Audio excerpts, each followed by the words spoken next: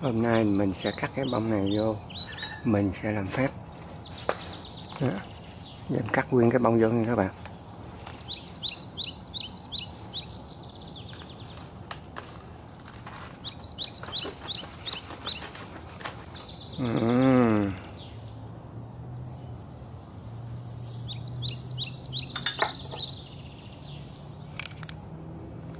Để vô cái gì á?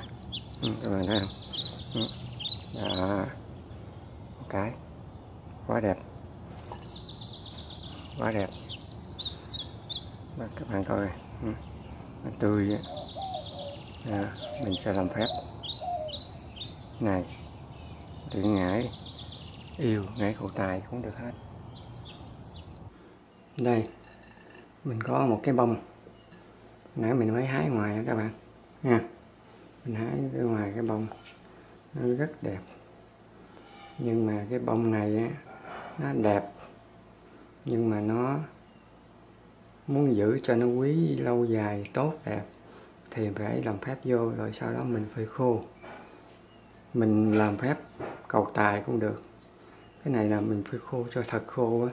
Mình để chỗ ngay cái tủ sắt hoặc cái chỗ ngay tính tiền. Cái này là cầu tài những bông tinh hoa của đất trời hấp thụ vô cái bông này. Nước không khí ánh sáng mặt trời hấp thụ vô. Rồi mới tạo ra một cái bông này. Giờ mình coi ngày lành tháng tốt mình đem vô mình làm phép cầu tài. Đó. Các bạn thấy cái, cái bông rất đẹp không? Đó. Giờ mình làm cái kiểu khác nhau. Không có giống cái nào hết giờ mình làm cái môn phái này khác nhau nha các bạn. Mình sẽ làm giày. Mình vẽ chú vô. Chú vô xong.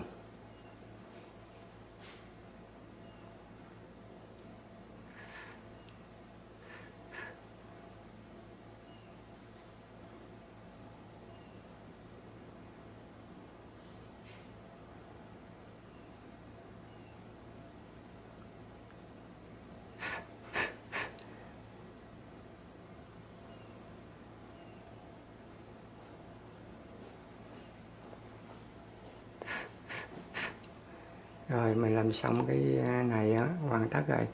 Giờ, mình chờ. Đem ra trời nắng ánh ánh sáng, ánh xa nắng á, nó chiếu vô. Nó làm cho cái này nó khô lại, nó giữ được lâu dài. Tức là để cho khô, thật là khô. Mình phơi đường ba bốn nắng á, các bạn. Mình coi mấy củ này nó khô, thật là khô. Nếu mà mình phơi không khô á, nó bị ẩm ướt, nó xanh ra mốc á. vì vậy phải nên cũng như mình sấy thật là khô như mấy ờ, gạo khô á các bạn. Đồ ăn khô, tôm, mì gói này kia, khô vậy nó để lâu được. Cái này mình trời nắng, nếu mà nắng gắt á, mình phơi khoảng ba, bốn ngày đó các bạn. Nếu mà mình coi nó không khô hung á, thì mình ráng mình phơi cho nó thật khô thứ nhất tuần lễ. Rồi sau đó mình đem về, mình để vô trong cái bọc đỏ, ha. Bọc đỏ là mình mới kéo bệ đàng hoàng. Đó. Cái bọc đó là tôi làm. Phải có làm phép cái vỏ đó cái bọc đàng hoàng. Mình đúc cái này vô. Mình phải coi đúng ngày. Đúng ngày tháng rồi ngày nào tốt là mình mới làm được. Ngày, ngày nào tốt mình mới cho người ta. Người ta đem về. Mình chỉ cái hướng nào á, là nên để cái bông tài lộc này may mắn này đến cái khẩu ngay cái cung của người đó thí dụ người đó cung ở hướng đông tây thì mình để đông tây, ha. Rồi hướng đó hướng tây thì để hướng tây thí dụ đông đông với tây là hai cái khác nhau, ha.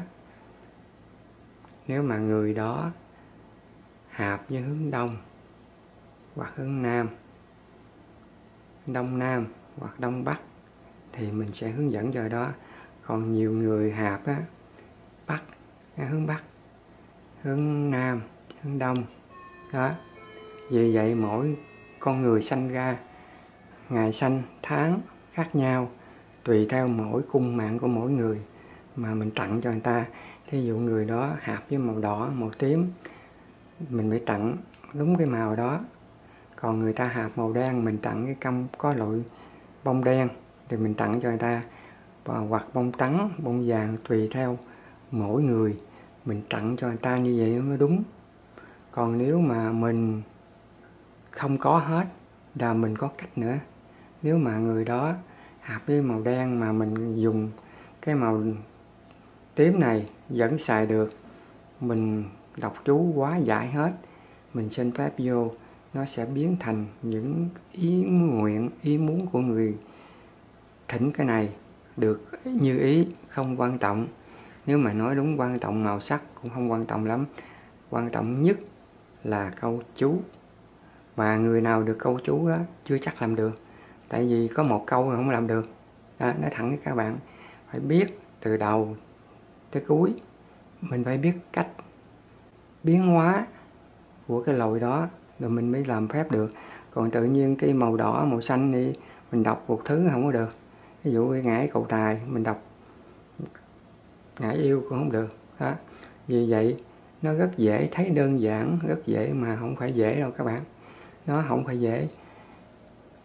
Trong thời gian mình trồng á, làm ra mình phải làm phép, mình nói, đọc chú vô, mình đọc thầm trong miệng. Không phải tự nhiên ra làm ì xèo không, mình làm từ từ, nhẹ nhẹ rồi bắt đầu mình tha vô mình lá tay có hơi hơi tay rồi bắt đầu mình đọc chú vô.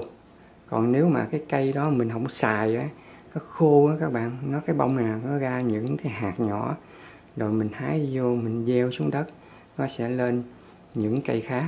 Đó, nó cũng đơn mạnh dạng, nó có bông.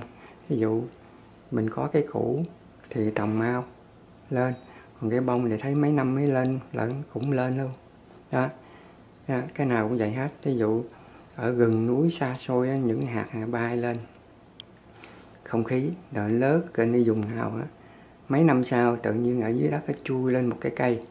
Đó vì vậy ở trong gần núi á, nhiều vị sư nhiều thầy cao tay thì ta đi tìm.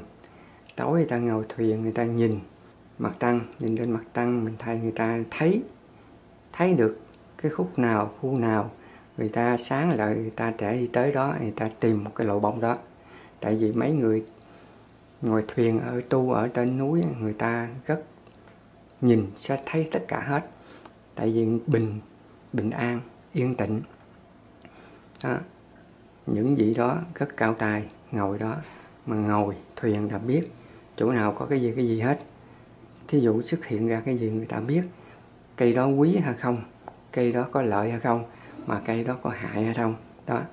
Rất quan trọng. Bởi vậy người ta mới ẩn trong núi. Nói đúng ra tất cả môn phái nào cũng tốt hết. Mà tốt hay không là cho cái bản thân của mình.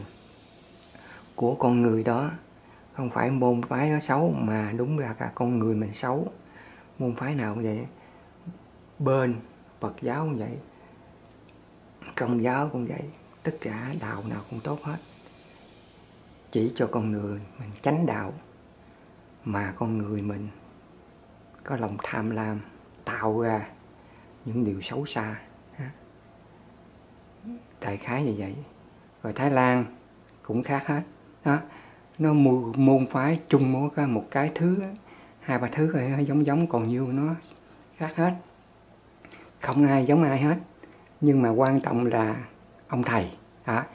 kết cục, kết quả là do ông thầy làm được ha? Không. Đó là điều quan trọng nhất. Đó, luyện được hay không là quan trọng nhất. Thấy rất dễ hơn các bạn, nhưng mà không phải vậy đâu. Hôm nay video tới đây đã kết thúc. Cảm ơn các bạn đã bỏ chút thời giờ xem video này. Nếu thấy ai mình đăng ký vô cái chuông để nhận được nhiều video mới lạ nhất.